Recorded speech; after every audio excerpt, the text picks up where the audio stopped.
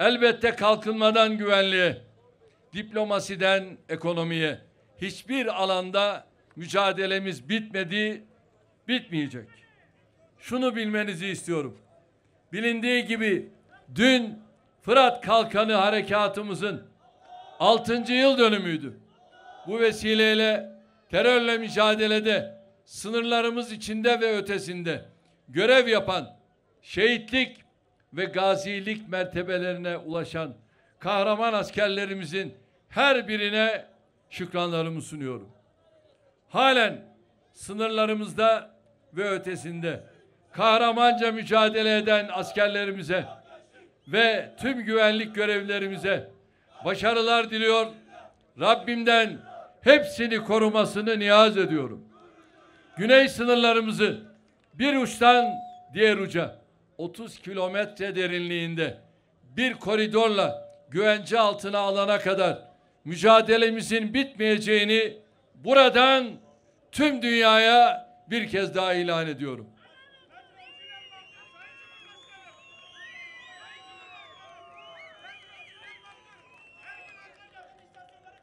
Kendileri diledikleri zaman diledikleri yere harekat düzenleyip bize sakın ha diyerek parmak sallayanların riyakarlıklarının farkındayız ve bu samimiyetsiz ifadeleri asla almıyoruz.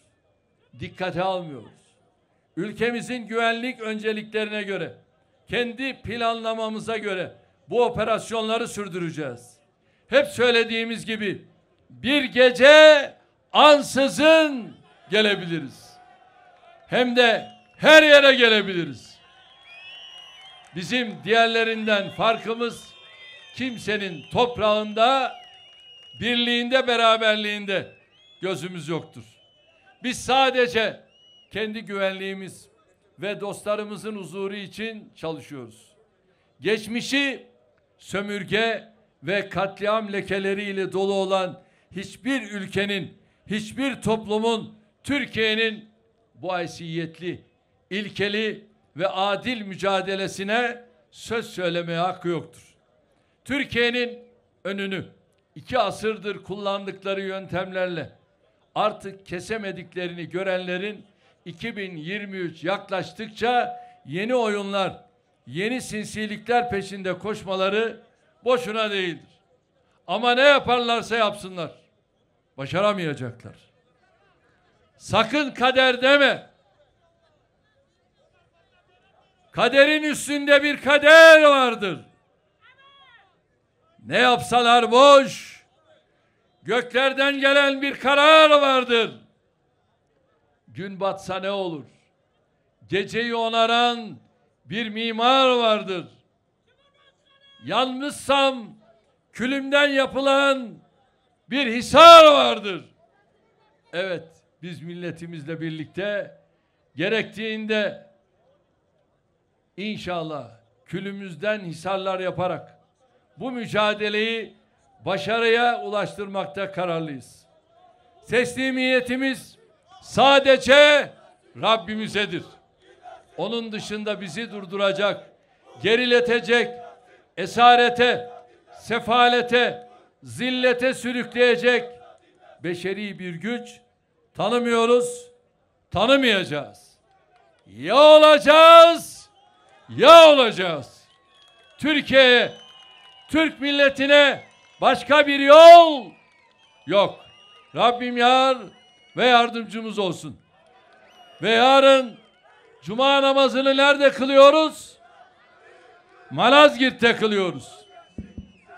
54 bin. Arif Nihat Asya öyle söylüyor. Hep beraber inşallah Malazgirt'te cuma namazıyla duaya ve tüm coşkumuzla inşallah yeniden Cumhur İttifakı'yla geleceği inşa ve ihya edeceğiz. Bu duygularla bir kez daha hepinizi sevgiyle, saygıyla selamlıyorum. Coşkularıyla Malazgirt Zaferi'nin 951. yıl dönümü sevincimizi katmerleyen gençlerimize hasreten teşekkür ediyorum. Kalın sağlıcakla. kahraman milletimizin yürekli lideri Cumhurbaşkanımız Sayın Recep Tayyip Erdoğan'a konuşmaları için çok teşekkür ediyoruz. Sen yürü Cumhurbaşkanım, ardından yürüsün,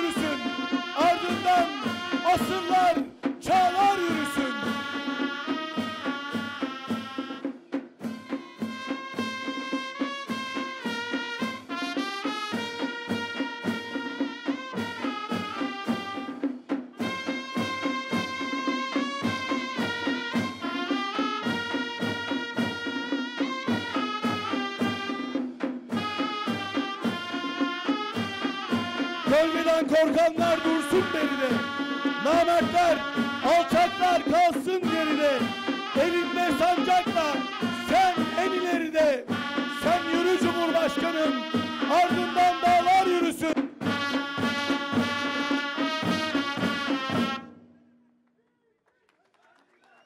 Ömrünü ülkesine ve milletine adayan lider, kahraman milletimizin yürekli lideri